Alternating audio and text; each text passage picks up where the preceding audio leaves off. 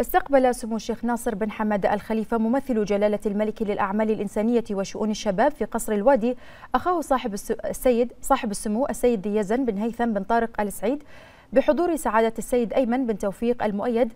الأمين العام للمجلس الأعلى للشباب والرياضة وسعادة الدكتور رمزان بن عبد الله النعيمي وزير الإعلام وسعادة السيدة روان بنت نجيب توفيقي وزيرة شؤون الشباب. وقد رحب سمو الشيخ ناصر بن حمد بضيف البلاد مشيدا سموه بعمق العلاقات الثنائية التي تجمع البلدين الشقيقين في كافة المجالات في ظل النهج الأخوي القائم بين الدول الأشقاء في مجلس التعاون الخليجي معربا عن تطلعه بأن تفتح هذه الزيارة آفاقا جديدة للتعاون بين البلدين الشقيقين في كافة المجالات خاصة في المجال الشبابي والرياضي.